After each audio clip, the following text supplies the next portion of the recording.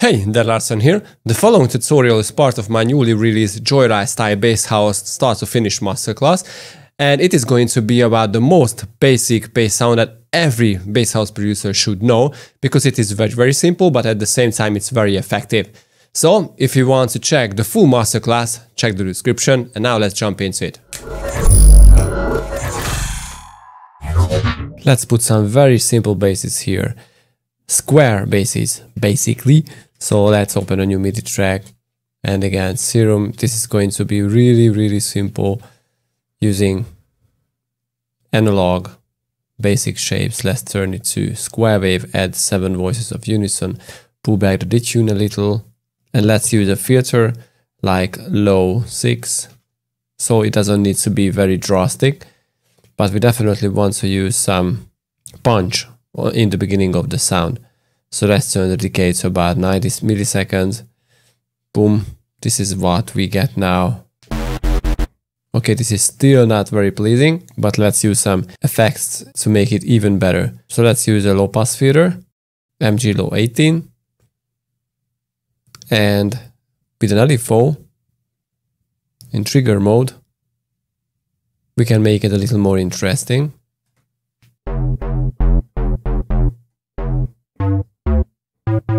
Okay, but this is still not enough, not a compression. I wanted to add an equalizer to make the sound a little more interesting. So let's crank up the low end. And let's add a little more middles.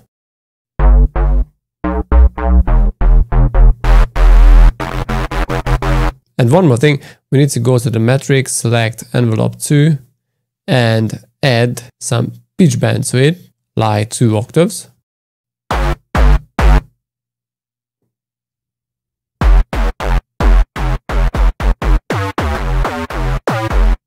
Something like this. And in this case, I think we need to go to the global tab and pull back the width so we don't have any stereo width for this bass sound. Okay, I think this sound will be great. It's not complicated as I said, but we still need to add some saturation, like again the bit warmer preset.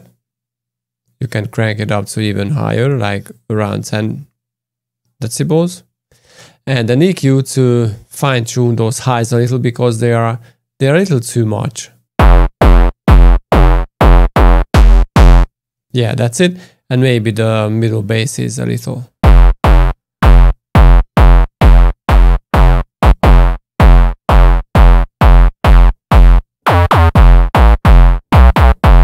Okay, this is cool. Now let's add the midis. Let's start with a little higher frequency, like F1 and drop it down to A sharp 0, sorry. Now there is one more thing I want to do here is uh, some manual sidechain. Now obviously on the group, on the full bass group, you can add manual sidechain, but I like to fine tune my sidechaining. So this is why I am adding several different sidechains on different basses because, for example, the main bass had a lot longer sidechain effect, but this one should have a little shorter. So I think this is a good idea to fine tune your sidechains and not use only one. So this is why I want to use the output of the saturation plugin.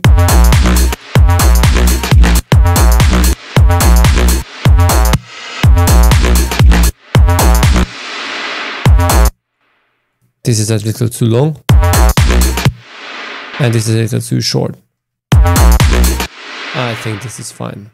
We can copy this thing, but uh, let's do a little different MIDI. So let's start with C sharp 1.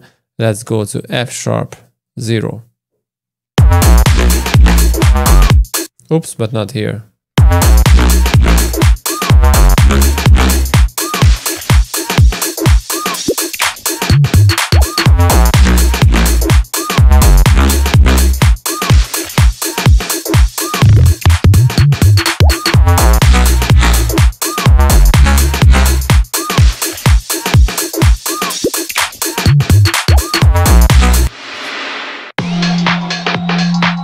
Oops, now this is the problem. Okay, so let's go to the siren, the siren effect, And let's add some manual three dot little automation for the pitch envelope. Okay, this is cool. And we have another problematic thing, this bass pad here.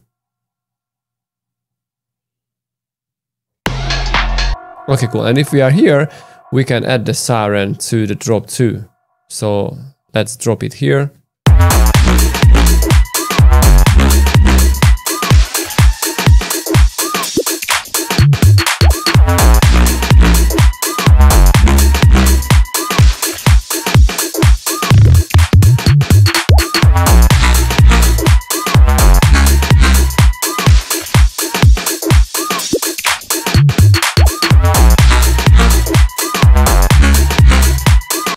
Maybe there is one more thing we can do with this square bass.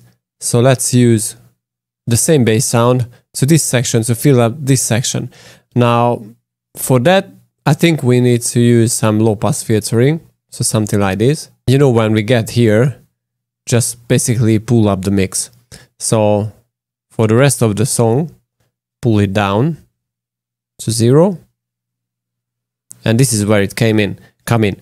So let's make a new MIDI clip and let's draw in some cool MIDI riff that will sound well, like tom tom ta tom tom tom ta tom tom tom, something like this. Yeah, something like this would would be cool. But maybe drop it up one octave higher.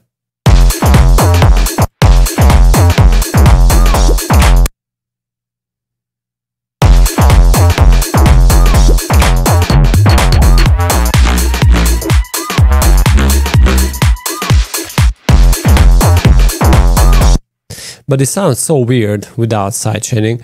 So what I want to do here is apply sidechaining to this sound. Now you can do this in the group, but what I prefer is using custom sidechains for different sounds. So this is why I'm about to draw in custom shapes.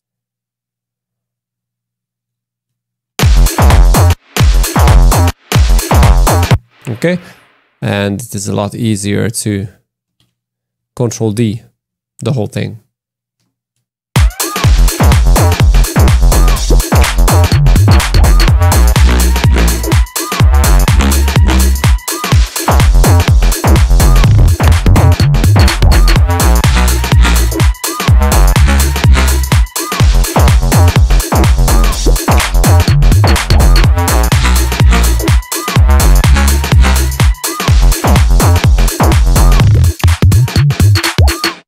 One more thing, let's try to add some pitch bend to it or a pitch drop effect, like all the way to the end. So something like this.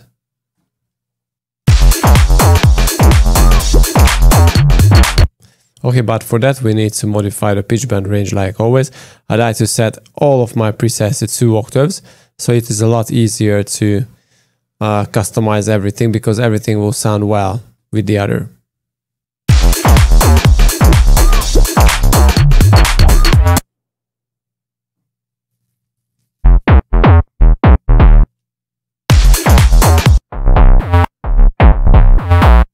Okay, and to make it more interesting, let's automate this thing. So pull back the the bass on this thing when we get to the end. So the lower the pitch gets with uh, pitch automation, the less bass I want to have. So now we need to pull it a little higher and decrease the resonance. So this way we should get a fully killed low end or not it won't it won't kill it perfectly but it definitely makes it a lot better to sound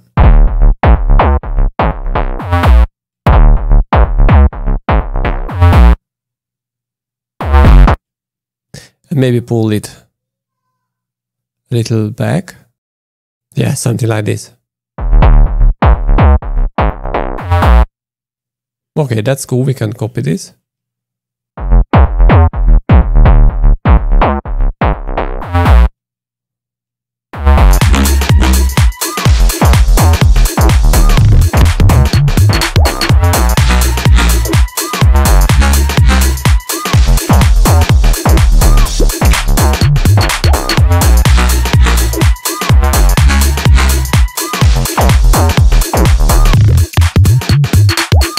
we will have to make some changes here like shotgun effects or machine gun effects or something like that that JOYRYDE loves to use, but let's do that in the next video.